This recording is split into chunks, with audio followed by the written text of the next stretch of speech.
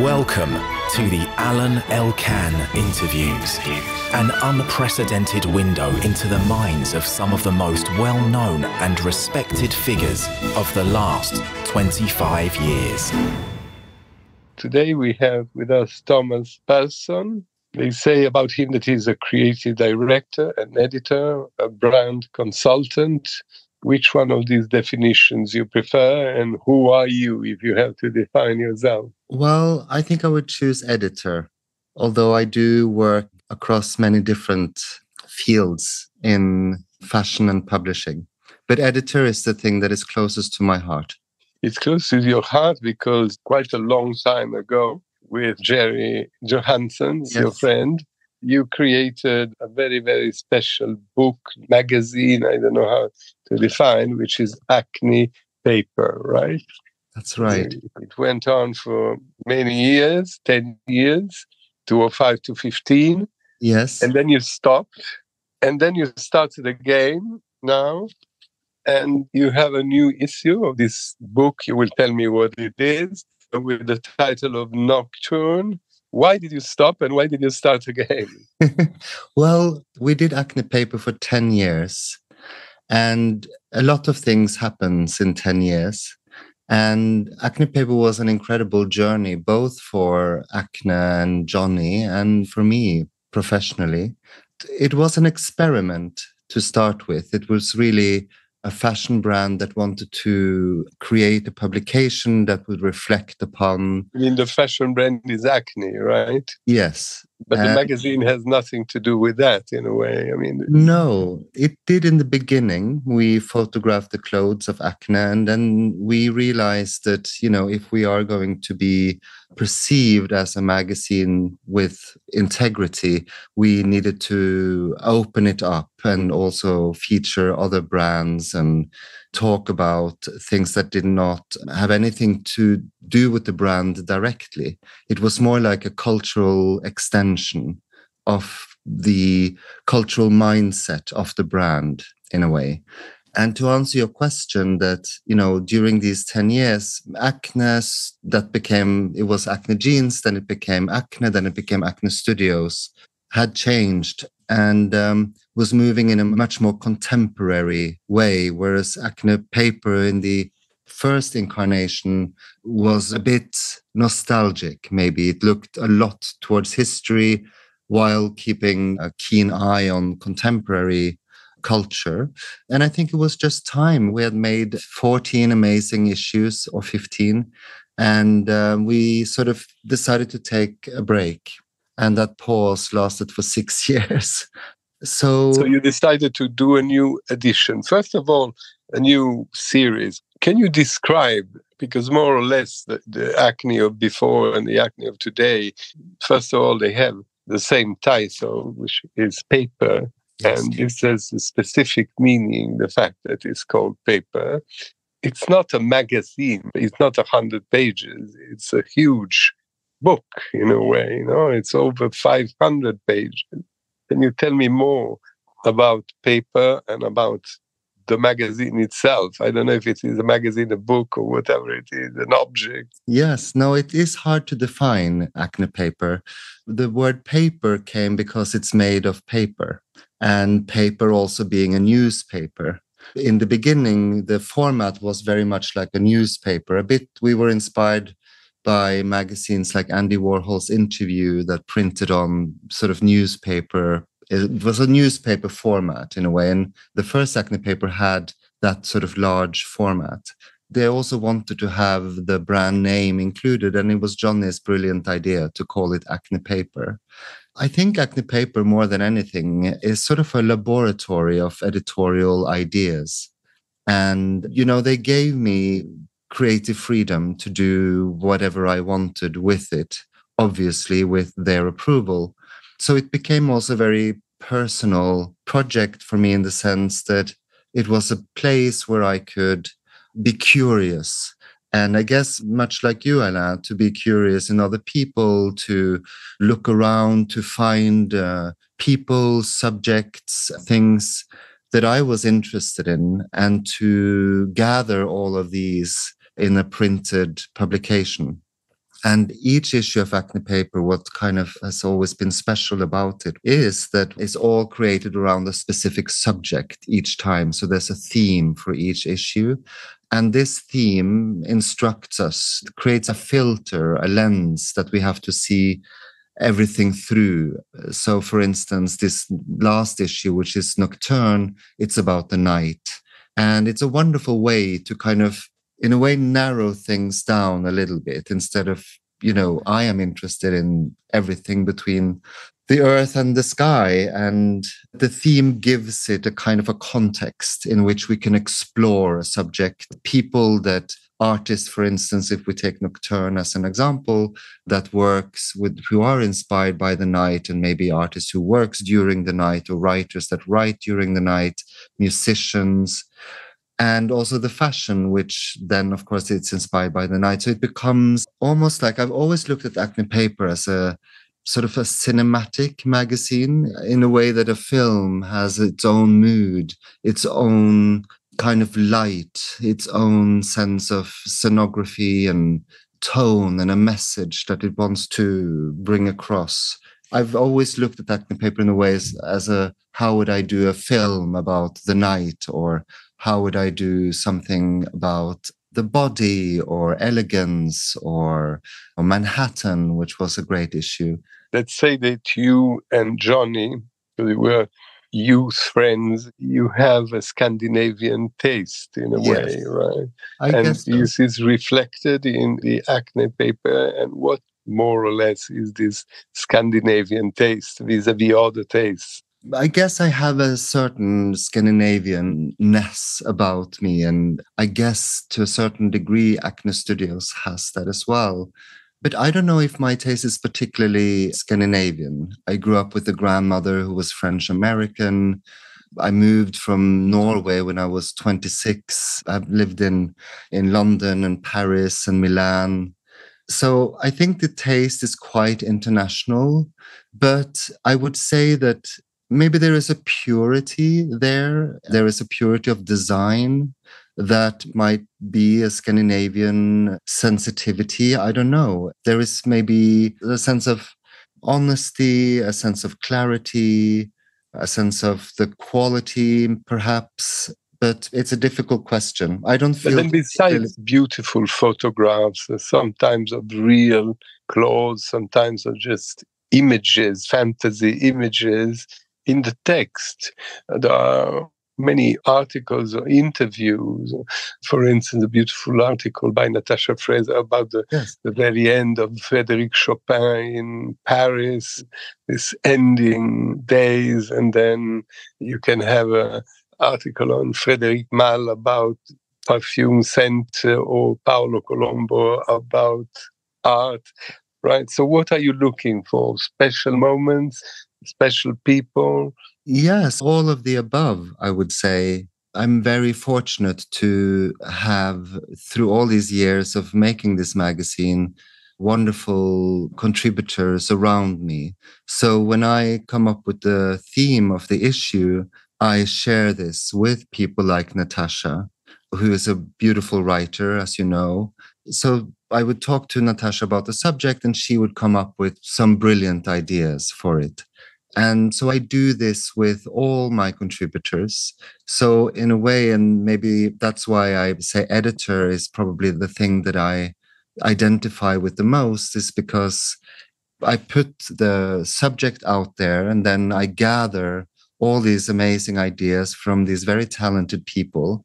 And then I put it together in a way that is about how what is the mood you know then the art director comes in and we create this and where thing. can one find your magazine? You it is uh, you sell it online it's in the bookstores in it's distributed globally so it will would be in all the sort of big uh, magazine stores around the world.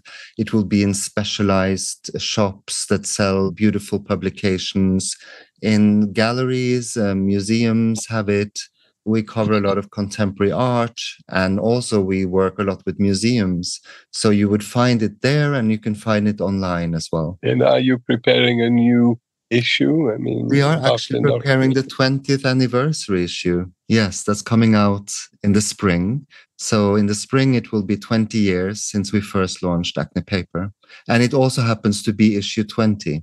So it's a big. It has a title. It does, but I'm not allowed to talk about that yet. Okay. so, but when you make a pause, let's say between the first acne papers and the ones who are starting again, you did a lot of things from 2013 to 16 on. I mean, you directed, for instance, advertising campaign for famous designers like Chanel, like Armani, like Hermes, like Vuitton, Heaven, Ferragamo, and so on and so forth. What does it mean? What did you do?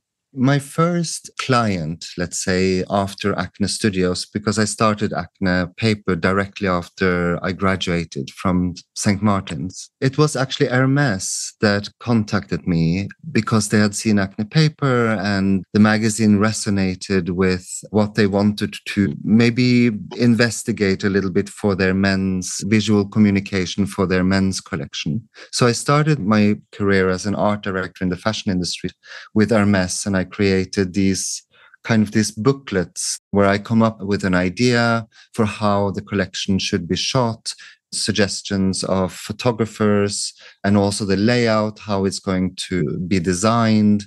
So I did with Hermes a few of these projects, which was very wonderful because they do a beautiful product an incredible brand. But I think my biggest sort of job in the fashion industry was with uh, Giorgio Armani. So I was called by Giorgio Armani to meet with Mr. Armani because they were looking for someone who could help him and the brand with all their advertising across all the Armani brands. So this was really a very big job that was an incredible opportunity, very, very challenging because Armani is a huge brand with so many projects that needs to be done. So this was my really my school and my and Armani himself is started by doing vitrines, you know, yes. before being a designer. He, he is a very demanding person. I mean, which is probably the key of his great success over the years. No, he's a very precise and uh, has a specific taste. Must ah. be very interesting personal experience. Absolutely incredible person, rigorous, extremely talented, completely dedicated to his creation. And he was very demanding, but he was also incredibly inspiring. And I think I learned a lot, especially about photography from him because that was my job to come up with ideas and suggestions for photographers. How are we going to present every new collection in photography? He's a, a remarkable man with an incredible taste, a unique vision, someone who knows exactly what he wants. And um, so to kind of, you have to, when you work for him, tap into his universe and try to understand the Giorgio Armani style and how that can be translated into photography. And I think that was a very interesting. Time. As we are into photography, because books and magazines are still your love, let's say, your yes. passion. You edited two books uh, on the legendary photographer Lord Snowdon, right? That's right. Yes. And also with his daughter Frances, you founded together another magazine called Luncheon. Yes. Right? Yes, we that did. Was 216. Yeah. How, why this particular interested for Snowdon and for Luncheon? I mean, were you personal friends or what happened? Well, Snowdon was a photographer that I came across as a student when I was at St. Martin's, and I spent most of my student years in the library. And of course, Snowdon uh, is one of the great photographers of his generation. And so when we did Acne Paper, I wanted to include sort of master photographers. So I actually wrote him a letter and asked if he would be interested in photographing students and teachers at Central St. Martin's, thinking that he would never be interested in our magazine mm-hmm. or such a request having shot i mean he's done huge portfolios for vanity fair for he shot for vogue i mean he's an, an incredible photographer especially on portraiture but he said yes to do it. So mm-hmm. we met at the first time, you know, at Central St. Martin's in the college where I used to go and spent the whole day together photographing students and teachers there. And from there, we started working on other projects together and sort of became friends. And Frances, uh, daughter, yeah. Yes, his daughter. I had heard about because we had many mutual friends, but for years we didn't meet. And then one day I got an email from Frances asking if we could meet, which we did, which was a very awkward meeting. She had a cup of tea and I had a pint of beer.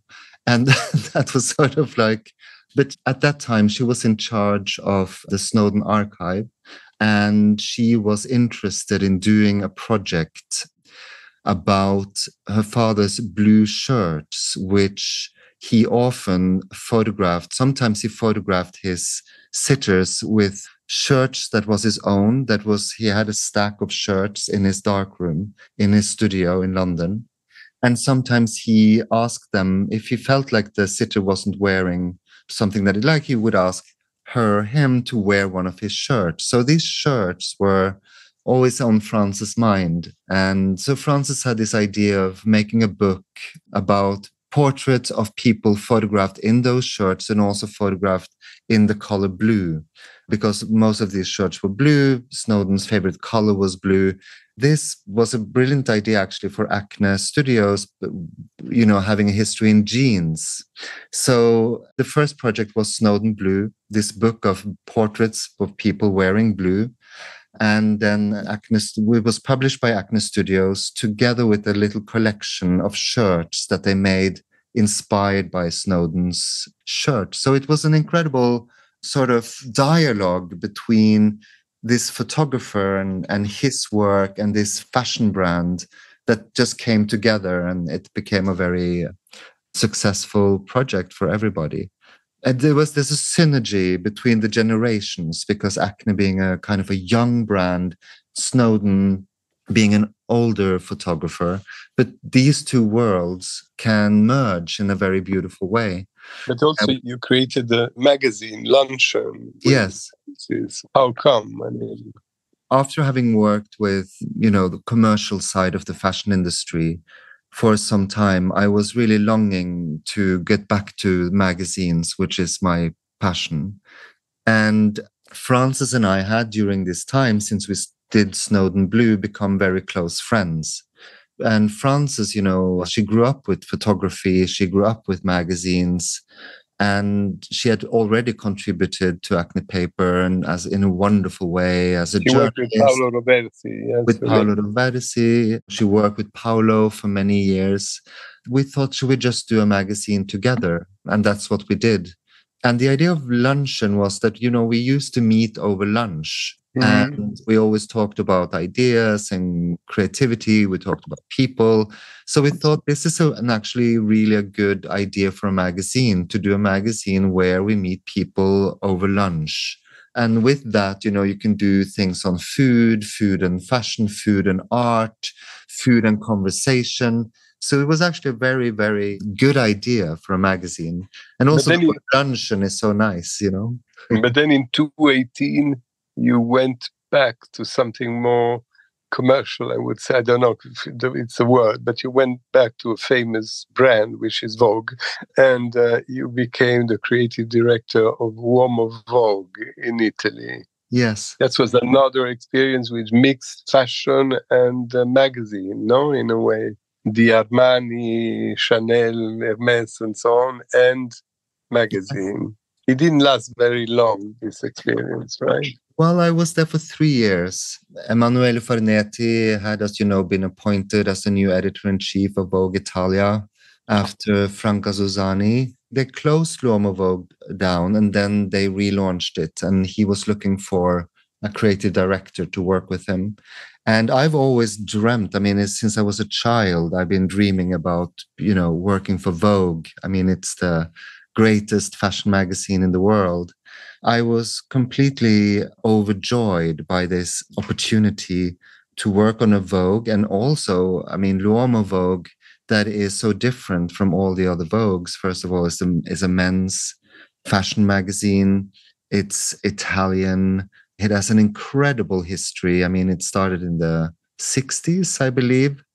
And that was an incredible thing because I immediately went into the archives. I discovered how innovative L'Uomo Vogue was. And the challenge was, of course, how we are going to translate this into today, which we did by making it in English, making it much more international.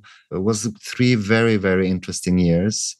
But then Acne Paper came back, and that's why I, I stopped. I could have continued with L'Uomo, but Jonny approached me and asked if I wanted was would be interested in starting Acne Paper again, which I was. And, and is a full time job, or you stopped directing global advertising for fashion brands? I mean, you're back to just an editor now. No, I do do other things. So I work with some Italian brands. Again, funnily, Italy has been the country where I've uh, been working the most in terms of fashion. But then I also do other books. So I'm doing my second book together with Robin Muir on Cecil Beaton. I've been doing books with Dolce Gabbana.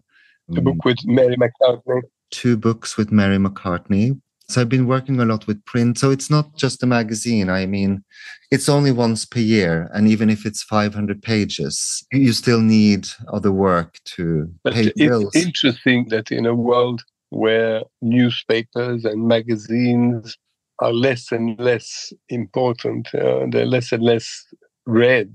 And in the same time, the books, all sorts of books, from coffee table books to literature, from essays or whatever, they're still in. I mean, people still want books. We can see because you have a library on your back, and I do have one too when we're doing this interview. And uh, no, but the book and that kind of magazine, which can be a collection also, it can be a collecting item in a way, right? They remain.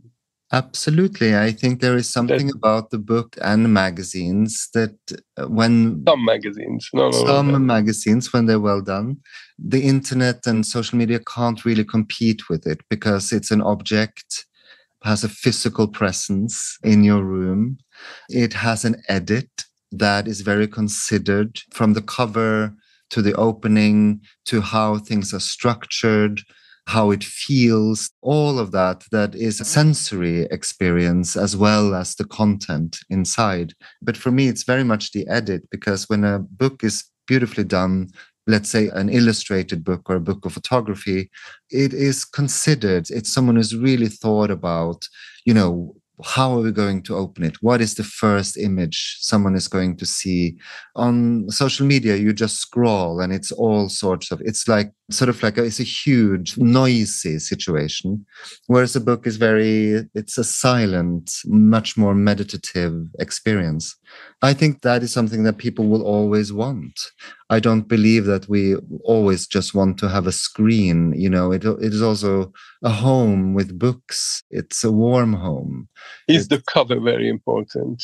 the cover is very important yes it's the Does first it take a long time to make the choice of the right cover? I mean, the cover you think. Um, I always know which image I would like on the cover quite immediately. It stands out. For Acne Paper, especially, it's also because it belongs to a series, you know, so it's always in the context of what we've done before.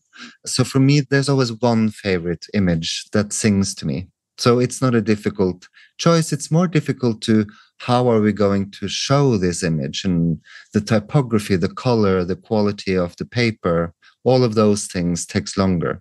maybe I'm wrong, but uh, the fact that there's still, you know, in a world uh, like the one we are, right? Everything is quick. Uh, the fact uh, that there are still some magazines like yours or some others, you know, also literary magazines like the Paris Review or the Granta magazine or things like that means that maybe the book has a certain respect that other things don't have, right? And to own a book, to own that quality magazine is not only luxury in the sense that it's like, uh, you know, you have an Hermes bag and your mm. magazine, but it's also an intellectual luxury, right? Maybe Absolutely. it's not a mass market product, right? It's not millions of copies or things like this, not a scoop, but it is a, a long tradition, the one of the magazines, right? And there is a sophisticated public for it, including students or including intellectuals or people who just have respect and give importance to own a book. Yes, you're absolutely right. And I think your intellectual luxury is very, very good. It is that because many of these books are quite expensive, but it's something that definitely I want to have. I mean, I want to have it in my library. I want to look at it. I want to have its presence. And um, it's an interesting time for magazines, which is sort of my area. Before you would have magazines that were made to make money with advertising and to earn money was one of the most important reasons for making this magazine. Whereas now it's not. You have people making magazines because of their love of magazines, because they want to create something in paper. And that has it's become a new generation of magazine makers where it's about the making of a magazine, how it's printed. It's not just about the content. It's not about selling anything. It's just about the passion for the creation of a magazine in itself. And also, I mean, a magazine is a beautiful way to connect with the world. I mean, when you're making a magazine, you have a wonderful opportunity to reach out to people that you're interested in artists, uh, photographers, writers, people that you would like to approach, that you would like to work with. And I think when you do something on the printed page, it means much, much more to all these people than if it's only online. I believe so. No, it, it is not also a question of online. I mean, I just want to give an example. I mean, you said you worked for Uomo Vogue, but talk about Vogue and um, Condé Nast uh, world, for instance. Uh, uh, this is what I had the impression that your kind of magazine and that kind of magazine restores. I mean, in the past, also maybe they wanted to make money, but this Vogue, they used to have very important writers writing mm. for them, uh, or very important artists uh, working on the covers or on the photographs. I mean, there was a cultural need and not only fashion, right? I mean, or fashion was molded into a cultural environment right? I mean, absolutely. And so we have examples of famous writers or poets or, you know, that work in that kind of magazine. And today, with the excuse that you have to sell it, that is less and less happening, right? Yes. yes. I have the feeling that without being nostalgic, that you have this desire to recuperate this tradition, right? Mm. Absolutely. I may be wrong. I mean, no, I, you're absolutely right. I completely agree. When I look at old Vogues, you know, I spent a lot of time in the Vogue archives when they were still on Hanover Square.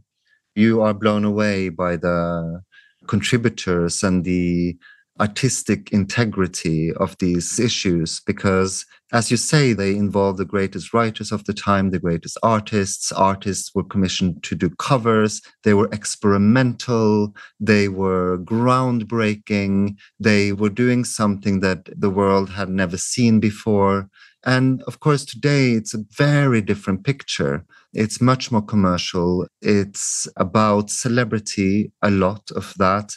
And of course, there's still incredible writers and photographers working for magazines like Vogue. But for me personally, it's not a magazine for me anymore. I'm not interested in it in a way because I'd rather, you know, look at the old editions, which maybe makes me nostalgic. But for me, it's more interesting for what I do because with Acne Paper, we have an opportunity to be experimental, to include great contemporary artists, to do a cover. So we're much more aligned with how a magazine like Vogue used to be. But uh, at the same time, you're not involved in politics. No, no. nowadays everything is politics and yeah. economy, and which is obviously extremely interesting and important. But uh, it's like if you were looking to show how the importance of beauty also in this world, a sophisticated beauty. Yes. Or not. Sophisticated beauty, yes. We have a great luxury because we don't have to get into the politics of finance and power. And that allows us to choose what we think is the best right now, completely independently of everything that's going on. So I don't know if that is sophisticated, but we can sort of cherry pick a little bit. And of course, I mean, there's people that also say no to being part of our magazine, which I uh, understand as well.